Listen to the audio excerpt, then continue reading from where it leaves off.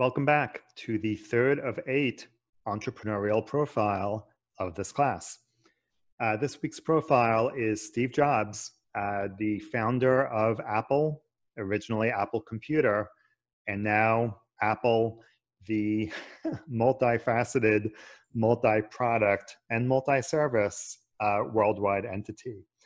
And that actually is the topic of, or the focus of today's profile for the following reason.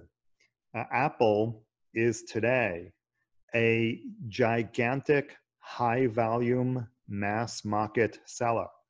Uh, iPhones are everywhere.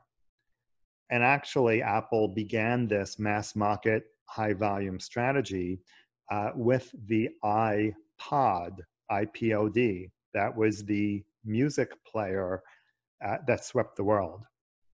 However, prior to that, Apple was actually producing pretty much a single product, the Apple computer.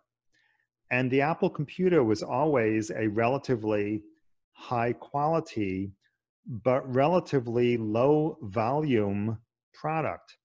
Um, Apple never really outsold Microsoft Windows compatible computers and from very early in its life as a company had a much smaller market share than Microsoft did. And today, like Starbucks, which we talked about last week, uh, Apple is trying to do something that is very difficult. It is pursuing a high volume strategy for its iPhones, while simultaneously trying to pursue a relatively high quality but low volume strategy for its, its birthright product, the computer. Will Apple be able to do it? We'll see. But it's a very difficult uh, trick to pull off for an entrepreneurial business.